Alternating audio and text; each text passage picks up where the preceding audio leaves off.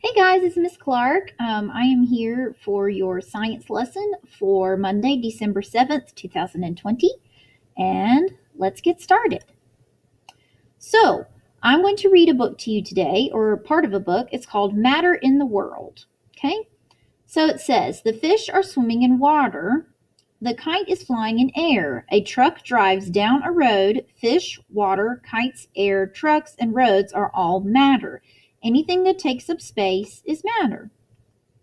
Okay, so as you can see, there's a kite, truck, then the ocean. Okay. All right, so big idea question. What are solids, liquids, and gases? It says solids, liquids, and gases are matter. Scientists call them states of matter. This picture shows three states of matter. The buildings are solids, the water is a liquid, and the air is a gas. So the water is right here. So solid, liquid, gas. Okay. All right. Solids. The toy robot is made of metal. The metal robot is a solid. A solid is matter that has its own shape and takes up space. Bicycle wheel is a solid. How would you describe it? Okay. Liquids. This juice takes the shape of the pitcher and the glass. The juice is a liquid. A liquid takes the shape of its container. It does not have a shape of its own. Milk is also a liquid. What happens if it spills or overflows? It spreads out over the table. A liquid does not have a definite shape when it's not in a container.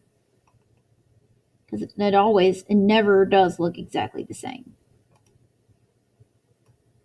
Gases. Air is a gas. It fills all of the space around you, even though you can't see it. A gas does not have a definite size or shape. It spreads to fill a space. Air fills up all the space outdoors. Your breath is gas. You use it to blow up a balloon. The gas spreads out and fills the balloon. After blowing into a balloon, the balloon must be tied to keep the gas inside. Okay, so now we're going to stop right there because that's chapter two. So we were to um, to read chapter one, and then what you're going to do is you're going to um, use the states of matter um, worksheet and fill out the answers. Okay, so I hope you guys have a great day, and I will see you in my next video.